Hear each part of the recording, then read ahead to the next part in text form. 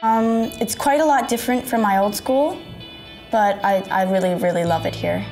It's like a community here. It's um, a very tight-knit group and anyone who joins immediately feels welcome and feels part of that, which is something unique that I actually hadn't experienced before. Like everyone knows each other and all the teachers are really friendly and you know, it's sort of like a big family here. Students come here and they feel accepted and welcomed and they're appreciated for what they contribute. It's really like an actual community. You can help each other out. Everyone's there for help. The teachers, you can interact with them.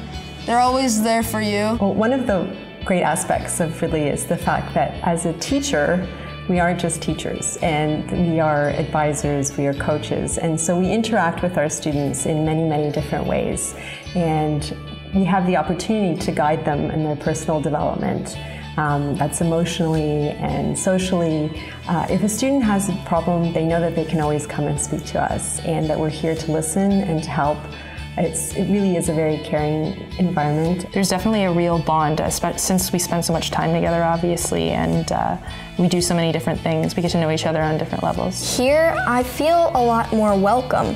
You're, you're part of our family here. My friends and classmates are always very kind. We always help each other out. It's just um, a great bunch of people here.